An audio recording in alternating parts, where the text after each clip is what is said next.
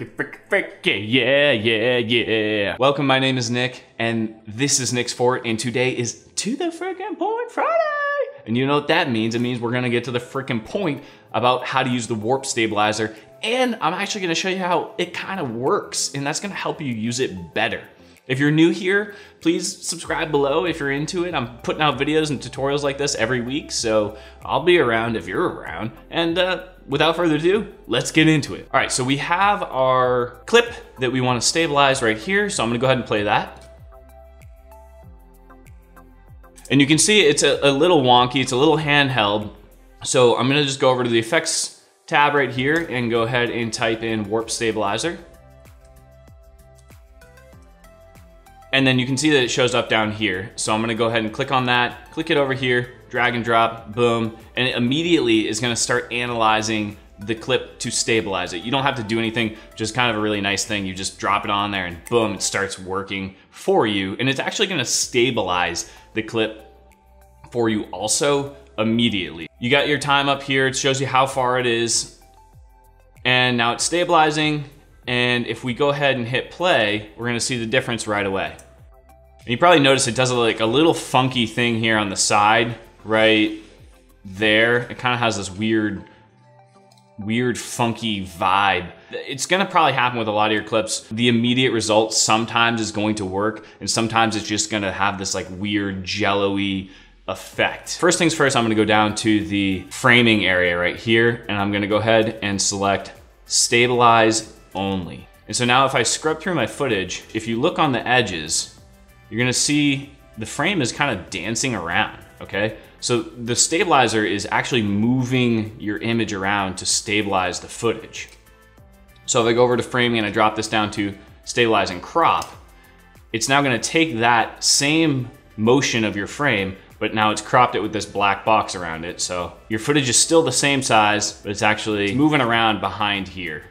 And then if I go over here and I go to stabilize, crop, auto scale, now it's actually gonna zoom in on the footage so I'm no longer seeing this the weird black bars we had there. So that's kind of how it works through this process. And you can actually look over here where it says auto scale, it says 118% right there. That's how much it's actually zoomed into your footage, which it's super useful to know how much your footage is being zoomed in on when you're using this effect. So if it's going really, really far in, maybe 150% or something like that, you're probably gonna notice it, but also you're gonna say, I don't really want that to be the case. Maybe I'm gonna readjust these parameters and, and make some adjustments to make this look better and not zoom in so much. But 18% with this camera, this footage, it's gonna be fine. All right, so the next thing I'm gonna do is I'm gonna go ahead and pop up to this area up here and those different options are gonna do different things. If I click on one of these, it's gonna affect the clip a little bit differently, all these different options here. I'm gonna leave it on the subspace warp.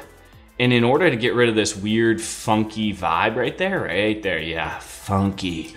I'm gonna go ahead and drop my smoothness down. I'm gonna just pop it down to 25%, cut it in half and I'm gonna toggle on the stabilizer and toggle it off. So with it off, this is what our shot looks like. Got a lot of motion, a lot of body shake, camera shake. And with it on, it looks pretty good. You know, there's a little bit of wonkiness, but you gotta kind of find a balance at what level you're comfortable with. And the higher you go on the smoothness, the more it's going to try to remove all of the camera movement, okay? So you can really blast this thing up and it's really gonna try to make it look almost like you're using a tripod or something like that. I mean, we're actually moving the camera here, but it also increases the amount of zoom you have sometimes. So you wanna be really careful about this and you wanna try to find that happy medium between too much and too little so it's not even doing anything. And so now I'm gonna show you guys one more trick that I really didn't know about until recently. With this warp stabilizer, you can kind of you can analyze it like maximum, maximum anal analyzing. You can maximize the analyzing of the clip that Anyways, you can maximize how you analyze this clip, which is super cool. So what you're gonna do is you're gonna go down to advanced, click that box, boom, and it's gonna reanalyze the background and it's just gonna look even deeper inside of your footage for all these points at which it's gonna stabilize. So you're probably gonna get better results. It takes a little bit more computing power, so you gotta consider that. But if you're not getting the results you want, definitely pop that on, give it a try and see how it works.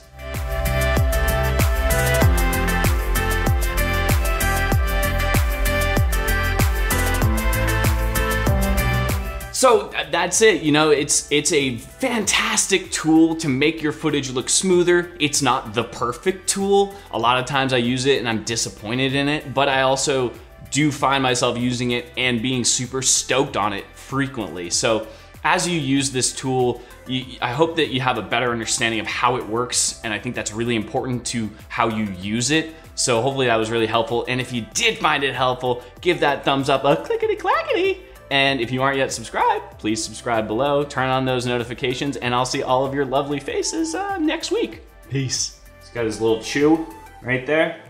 And, it, and you probably hear it in the background. Go ahead, take it. Take it, yeah. We're going to do a detailed analysis of the clip.